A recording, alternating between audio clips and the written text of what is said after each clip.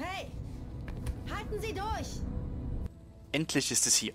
Nun ja, fast. Bevor es am 8.3. diesen Jahres losgeht, beschert uns Ubisoft erstmal einen kleinen Vorgeschmack auf deren Blockbuster 2016. Ein Deckungsshooter in einem postapokalyptischen New York, Loot an allen Ecken, futuristische Gadgets, ein tolles Partysystem und cineastische Grafik. Das ist The Division. Wir wollen uns heute anschauen, was in der Beta auf uns wartet und ob das Spiel dem Hype gerecht wird. Zwei Division-Agenten an Bord. Die Explosion vorhin war ihr Taxi. Okay, JTF 68, klar zur Landung. Normalerweise braucht man Zeit, bis man jemandem vertrauen kann.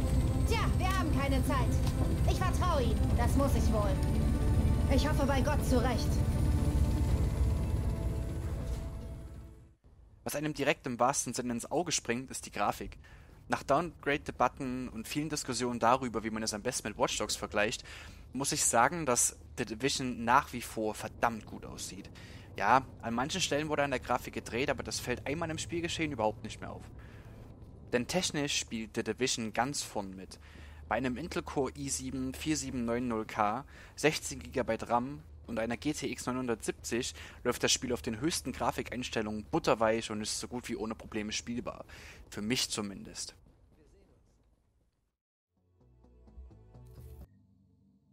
Vor Spielbeginn können wir uns einen Charakter erstellen. Im fertigen Game werden wir Optionen zur Personalisierung haben. Momentan können wir weibliche oder männliche Charaktere mit zufälligem Aussehen generieren.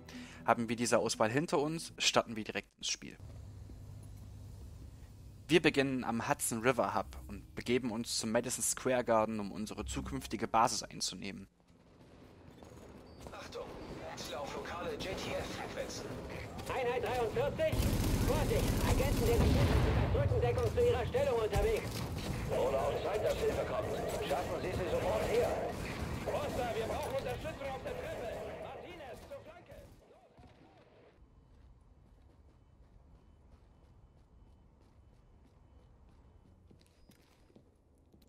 Hier können wir uns durch Abschließen von Missionen drei Flügel freischalten, beziehungsweise momentan ist nur der Medizinflügel freischaltbar. Durch das Ausbauen der jeweiligen Flügel schalten wir uns im späteren Spielverlauf Fähigkeiten frei, die uns das Überleben vereinfachen sollen. Hier finden wir außerdem Händler, die uns Waffen, Waffenmodifikationen und Ausrüstung zur Verfügung stellen. Wir können unsere Ausrüstung einlagern und haben die Möglichkeit, kostenlos unsere Ressourcen aufzufüllen.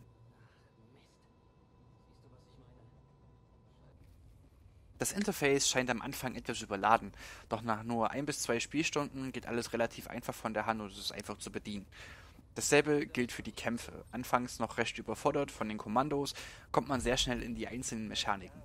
Das Deckungssystem funktioniert sehr gut und intuitiv. Das Waffenhandling ist für Nicht-Shooter-Spieler am Anfang sicherlich etwas gewöhnungsbedürftig, da es den Kniften doch sehr stark an Stabilität fehlt. Die Gegner-KI reagiert gut auf unsere Aktionen und versucht des Öfteren, unsere Figur zu flankieren. Es kann also schon mal vorkommen, dass wir ins Gras beißen. Wir sollten stets auf unsere Umgebung und die Anzahl der Feinde achten, um nicht umlaufen zu werden. In der Welt finden wir immer wieder Kisten mit Ausrüstung, auch Gegner hinterlassen diese natürlich. Ich habe mich immer wieder dabei erwischt, abgelenkt zu werden durch eben diesen Loot. Die Sammelsucht schlägt bei The Division definitiv zu. Immer auf der Jagd nach besseren Waffen und Ausrüstungsgegenständen schlagen wir uns so durch New York. Erledigen Missionen, helfen Passanten und halten immer die Augen nach sammelbaren Objekten auf. Hat man diese Mission alle erledigt, bleibt nicht mehr viel zu tun in der Beta. Wäre da nicht die Dark Zone, ein PvP-Gebiet, in dem wir auf hochwertigeren Loot stoßen, jedoch auch auf viel stärkere KI-Gegner. Ist man allein in einer Dark Zone unterwegs, kann es schon des Öfteren ziemlich brenzlig werden, aber der Einsatz lohnt sich. Die Ausrüstung der Dark Zone ist wesentlich höher angesiedelt als der Rest außerhalb, aber jedoch kontaminiert. Die gesammelte Ausrüstung muss zu einem Abholplatz gebracht werden. Dort kann man einen Heli rufen, der nach circa einer Minute rausfliegt, sodass man sie später nutzen kann. Das Problem ist, dass andere Spieler ebenso auf der Jagd nach diesem Loot sind. Es kommt also nicht selten vor, dass man, selbst ohne Loot, wieder und wieder einfach niedergeschossen wird. Ein großer Nachteil, wenn man allein ist. Sucht euch also ein paar eurer Freunde zusammen und betretet gemeinsam die Dark Zone, um gut abzustauben.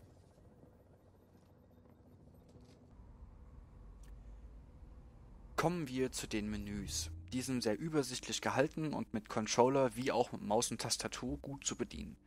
Die Map ist übersichtlich und gut lesbar, wenn man sich dran gewöhnt hat. Markieren und Schnellreisen sind möglich. Außerdem werden uns kurze Infos zur Mission angezeigt, sowie Freunde, die sich im Spiel befinden. Eine Onscreen-Navigation kann ebenso stattfinden, wenn man das möchte.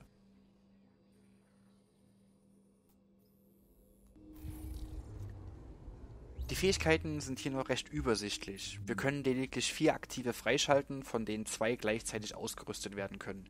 Diese können aber auch jederzeit, auch in den Kämpfen, gewechselt werden. Ein sehr flexibles Skillsystem also. Talente und Vorteile sind leider noch nicht anwählbar. Das Ausrüstungsmenü unterteilen wir in Waffen und Rüstungsgegenstände. Drei Waffenslots stehen uns zur Verfügung. Davon sind zwei für Haupt- und ein Slot für kleinkalibrige Nebenwaffen. Waffen lassen sich mit gefundenen Mods verbessern, darunter zum Beispiel Schalldämpfer, Farben und Griffe, die uns verschiedene Boni gewähren sollen.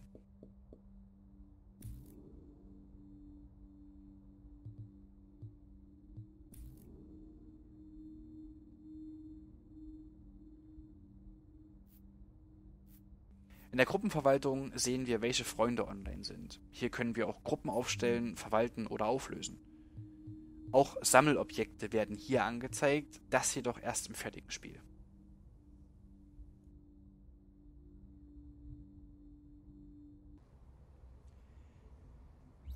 Für den PC haben wir bei The Division massig Schalter und Regler, um die maximale Grafikpracht aus dem Spiel zu kitzeln. Für mich ist es beruhigend zu sehen, dass dem Spieler hier noch Möglichkeiten gegeben werden, Grafikeinstellungen zu tweaken, denn bei vielen Spielen 2015 kam so etwas ziemlich kurz. HUD-Elemente können zudem frei angepasst werden, in Größe und Position.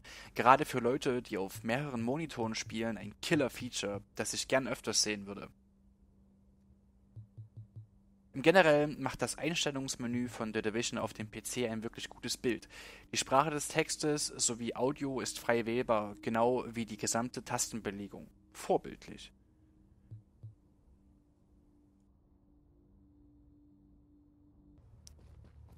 Ich muss ehrlich zugeben, dass ich von The Division schon seit dem ersten E3-Trailer aus 2013 angetan war.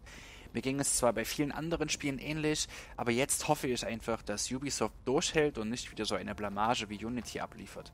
Wir können nur gespannt sein und hoffen. Doch nach allem, was ich bisher in der Beta gesehen habe, bin ich der ganzen Sache doch recht positiv eingestellt. Alles lief rund. Selbst bei nur einer spielbaren Haupt- und einer Handvoll Nebenmissionen fesselt das Spiel einfach. Vor allem beim Spielen in einer Gruppe.